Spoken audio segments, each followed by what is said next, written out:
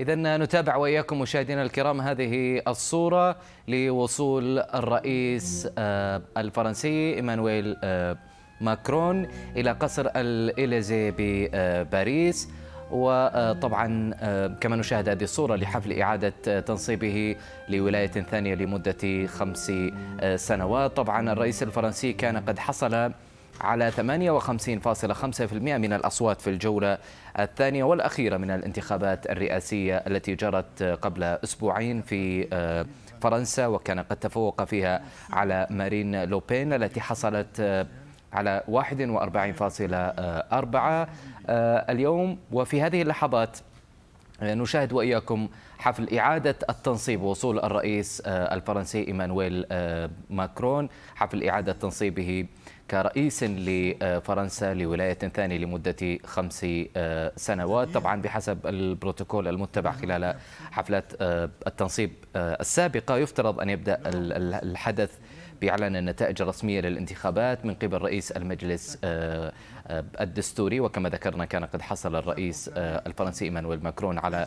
58.5% من الأصوات في آه، الجولة الثانية والأخيرة من آه، الانتخابات. آه، طبعا تبدأ هذه الولاية الرئاسية الجديدة.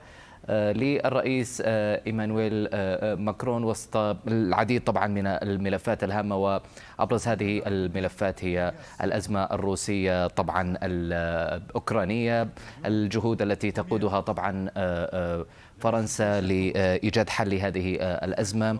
آه، وأيضا آه، كذلك آه، طبعا العديد من الملفات الداخلية أيضا التي تنتظر الرئيس إيمانويل ماكرون وفي محيطه أيضا حتى مع الاتحاد الأوروبي. طبعا كل الأحزاب اليسار واليمين من الطيف السياسي الفرنسي تتطلع إلى إقامة تحالفات لمحاوله التغلب على حزب الرئيس ماكرون الذي أعيد تسميته بحزب النهضة في انتخابات الثانية عشر والتاسع عشر من يونيو لاختيار أعضاء مجلس النواب طبعا بالبرلمان آه، الفرنسي. آه، طبعا كان قد فاز بولاية رئاسية ثانية الشهر الماضي لكنه سيحتاج طبعا مشاهدينا إلى أغلبية في البرلمان حتى يتمكن من المضي قدما في آه، بعض طبعا السياسات منها طبعا سياسات تشمل رفع سن التقاعد إلى 65 عاما من 62 حاليا وهو طبعا ما يعارضه اليسار واليمين